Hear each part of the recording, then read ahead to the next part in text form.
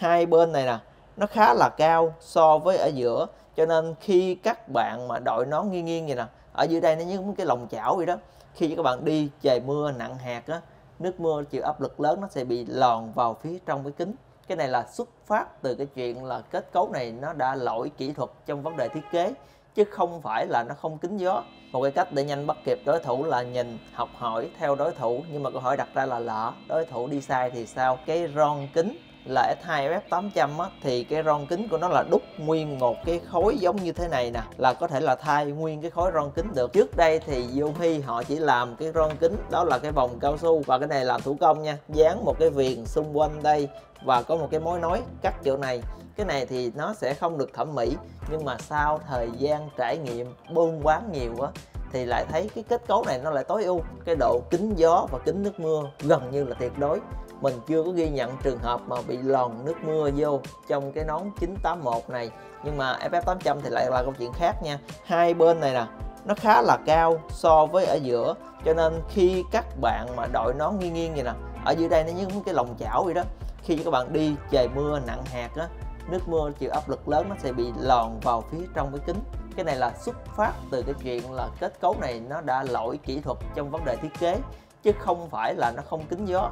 Mình đã thử test cái độ kính giữa cái ron kính này nè với cái mặt kính phía trong á, nó rất là kính kẽ luôn, nhưng mà nước mưa nhiều quá thì nó vẫn bị động vô.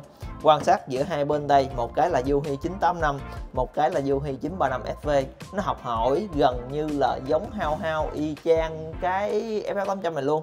Các bạn có thể nhìn nè kết cấu của cái Yuhi 985 còn mình là 935 SV cái này nó còn ẩu thêm nữa là nó bỏ luôn cái viền ở giữa đây nè. Các bạn quan sát cái này nè nó có một cái đường viền ở đây nè nó kính gió hơn. Cái lợi của việc thiết kế cái ron kính này á một á, là nó giúp cho cái tầm nhìn nó rộng hơn cái bề mặt kính á, nó to hơn các bạn sẽ quan sát được nhiều hơn. Và thứ hai là nhìn nó thẩm mỹ hơn đẹp hơn. Và lỡ cái này nó có bị nhâm nhâm nó hư á thì mình thay nguyên cái bộ ron mới nó dễ hơn. Nhưng mà nhược điểm thì nó lại ăn theo ông này giống hệt luôn. Đó là đi đi trời mưa lớn thời gian hơi dài á, là nước mưa nó sẽ bị động nó rỉ nó nhỏ vào trong. Hiện tại thì vẫn chưa có cách nào để xử lý triệt để được cái vấn đề này hết nha các bạn và mình thông tin tới các bạn để các bạn biết là nó sẽ có những cái nhược điểm đó để biết lựa chọn. Theo mình thì hiện tại xài một cái nón tối ưu á, chắc là Yuhi 981 978 và 977 Plus á. Nó ok và cái độ kính gió, kính mưa nha.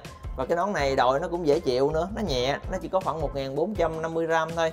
Còn FL800 thì hơi nặng, Yuhi 935 cũng hơi nặng. Hai cái nón này thì khoảng 1650 gram, còn 985 thì nhẹ hơn.